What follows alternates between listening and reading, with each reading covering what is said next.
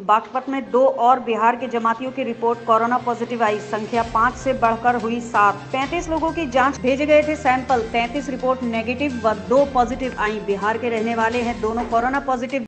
जो test report है, sample गए थे, उनकी टेस्ट रिपोर्ट आ गई है, जिसमें दो पॉजिटिव पाए गए हैं। इन दो पॉजिटिव को मिलाकर जनपद बागपत में सात पॉजिटिव केस हो गए हैं, जिनमें से एक दुबई रिटर्न है दुबई रिटर्न जो दिल्ली के सफदरजंग में एडमिट थे उनको आज डिस्चार्ज कर दिया गया है। वो पूरी तरह से स्वस्थ हो गए उन्हें होम क्वारंटाइन चौदह दिन के लिए किया जा रहा है। और चार जमाती अभी हमारे नेपाली नेपाल निवासी चार जमा, जमाती। और ये ये दो आज रिपोर्ट आई है ये दो बिहार निवासी जमातीज हैं। कुल छह जमातीज अभी हमारे पॉजिटिव हो गए हैं।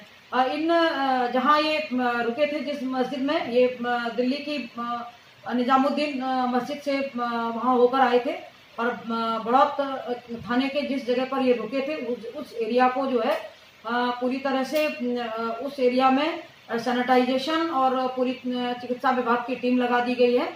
इनके संपर्क कांटेक्ट ट्रेसिंग की जा रही है।